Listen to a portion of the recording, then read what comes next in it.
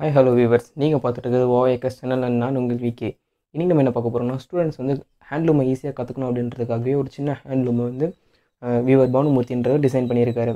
அதை பற்றின எக்ஸ்க்ளூசிவான வீடியோ இப்போ பார்க்க போகிறோம் இது மட்டும் இல்லாமல் ஹேண்ட்லூம்ஸ் பற்றின நிறைய அப்டேட்ஸ் இந்த சேனலில் வந்து வந்துகிட்டே இருக்கும்.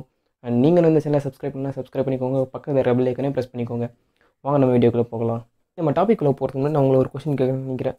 கொரோனா லாக்டவுன் அப்போது சோஷியல் டிஸ்டன்ஸை ஃபாலோ பண்ணோம் ஒரு இடத்துல நிறைய பேர் கூடக்கூடாது அப்படின்னு சொல்லிட்டு ஜவுளி கடைங்க ஷாப்பிங் மால்ஸ் எல்லாமே க்ளோஸ் பண்ணியிருந்ததுனால அந்த டைம் பார்த்தீங்கன்னா நெசவு தொழில் ரொம்பவே பாதிக்கப்பட்டுச்சுன்னே சொல்லலாம்.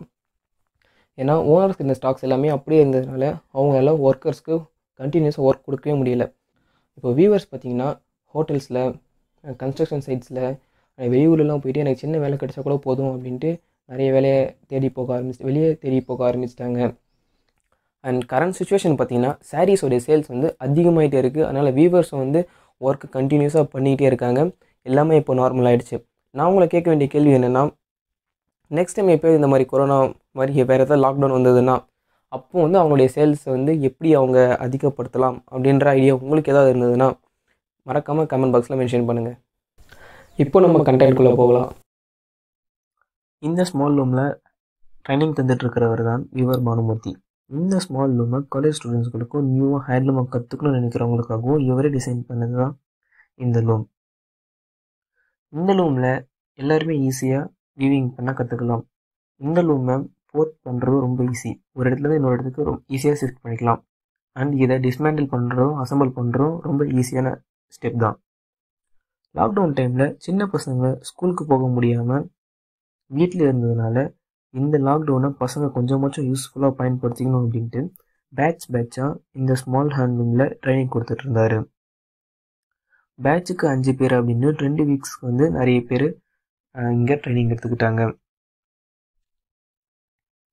அண்ட் இந்த ஹேண்ட்லூமில் ட்ரைனிங் எடுக்கிறது ரொம்ப ஈஸியாக இருக்கிறதுனால இன்னும் நிறைய பேர் வந்து கற்றுக்கிட்டும் போனாங்க. அண்ட் அவங்க என்னென்ன பண்ணுறாங்க அப்படின்றத நான் நம்ம வீடியோவில் பார்த்துக்கிட்டு இருக்கோம்.